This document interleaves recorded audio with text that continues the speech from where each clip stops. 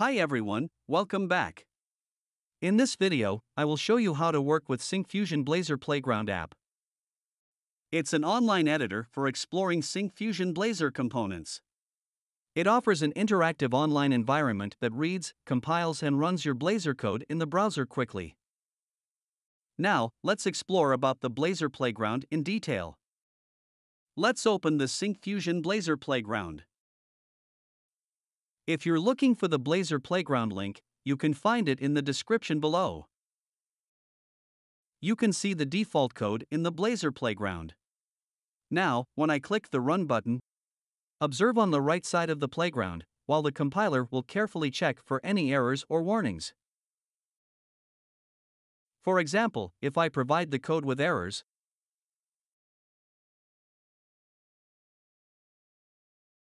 the compiler will promptly identify and display them along with any warnings, allowing me to address them quickly. After I make the necessary corrections, the code will run without any errors or warnings. To begin, let's explore the process of creating and testing standard Blazor components within the Playground app, independent of any particular Syncfusion components. Now, by removing the default code, I can proceed to create common Blazor components like headers, navigation, and footers. When I click the Run button, you'll be able to see the rendered components and interact with them. Following this, I'll proceed to add the code for the Blazor components. Utilizing the Syncfusion Blazor calendar component for this demonstration. Instead of going through each step, you can directly copy and paste the component code snippet from the Syncfusion Blazor documentation. For access to the documentation, you can find the link in the description below. When I click the Run button, you'll observe the calendar displayed on the right side of the playground. Next, let's explore how to add child components to the rendering process. To begin, simply click the Add icon in the Blazor Playground to create a new Razor file. And set the name of the file as Calendar. In this file, I define the Blazor Calendar component as a child component. Next, go back to the index file to remove the calendar component and add the SF accordion tag. It allows content to be organized in a vertically stacked list of items that is collapsible. Inside the accordion, there is an accordion item tag that represents a single item in the accordion. The header template defines the content for the header section of the accordion item. In this case, it contains an HTML element with the text rendered calendar as child component.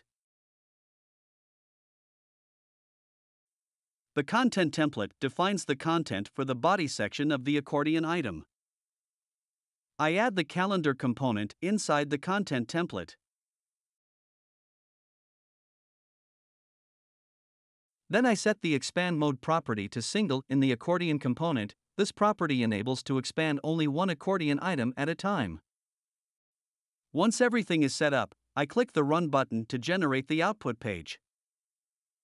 You'll observe that the child component, along with its header, gets rendered inside the parent component.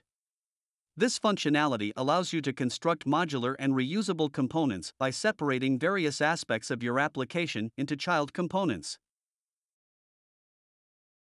Next, let's move on to NuGet package installation. To do this, I click on the NuGet Asset Manager. By default, the Syncfusion NuGet package is already installed with the specific version. However, if you wish to change the version, simply click on the dropdown and select the desired version. Additionally, if you need to add any third party NuGet packages, you can search for them in the NuGet Package Manager.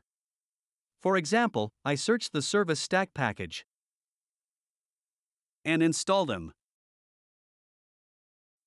If at any point you no longer need a package, you can dynamically remove it.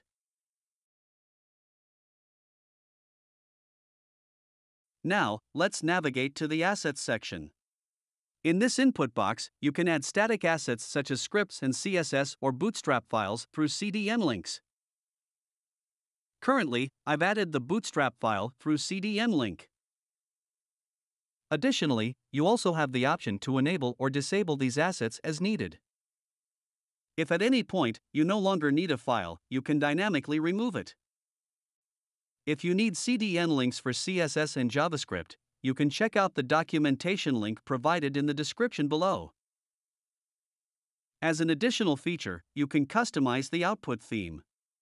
You can preview your Syncfusion Blazor components with a variety of built in themes, including Fluent, Bootstrap 5, Tailwind, and more. For demonstration purposes, I have switched to the Fluent Dark theme. See here, accordion component is displayed in a Fluent Dark theme. Once you have completed your project or sample in the Blazor Playground, you can easily share it with others. To share the code, locate the Share button in the Blazor Playground interface and click on it. This will generate a URL for your code snippet, which you can copy and share through various channels like social media, email, or any preferred communication method. This allows others to access and interact with your code snippet in the Blazor Playground and view the results.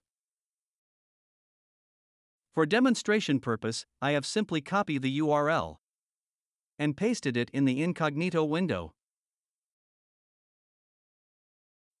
You can see the same code displayed. When I click on the Run button, you can see the output. Additionally, when embedding a playground code snippet, you have the flexibility to determine which elements will be displayed using the following parameters in the embed code. The display code editor parameter determines whether the code editor is shown. For example, if I disable all the parameters except display code editor, you'll see only the code editor. Then, copy the embed link and paste it in a new tab. And you can see that it displays only the code editor. Similarly, for the display result view, if I want to show only the result view, disable all the parameters except for display result view then, copy the embed link and paste this link into a new tab. You'll see the result view. By customizing these parameters, you can control the visibility of specific elements when embedding the playground code snippet in a web page or document. In this video, I explored the Blazor Playground and its various features. I covered the Blazor Playground overview using Syncfusion Blazor components, adding components from other sources, and incorporating child components. I also discussed how to easily share your code snippets with others. For more detailed information, please refer to the documentation link provided in the video description. I've also provided a link where you can check if you qualify for a free community license to use all our Blazor products. Thank you for watching this video. If you found it helpful, please give it a thumbs up and consider subscribing to our channel for future content. Thank you.